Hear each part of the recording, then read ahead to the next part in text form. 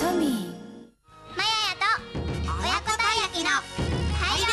手作りたい焼きお家で簡単美味しいたい焼き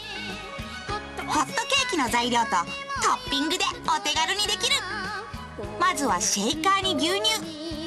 卵砂糖ホットケーキの素を入れてねシェイカーにインナーフィンをはめてしっかり蓋を閉め60秒間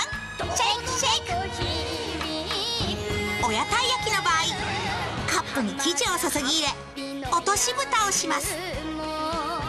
ホタイ焼きの場合ホタイ焼き用トレーをはめて生地を注ぎ入れる。あとはレンジでチン。